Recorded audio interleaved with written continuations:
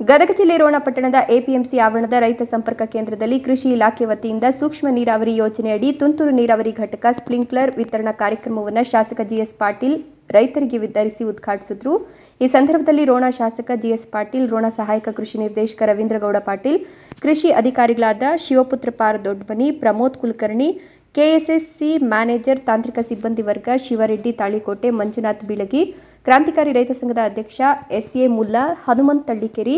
Andappa Gadigi, Yusuf Itagi,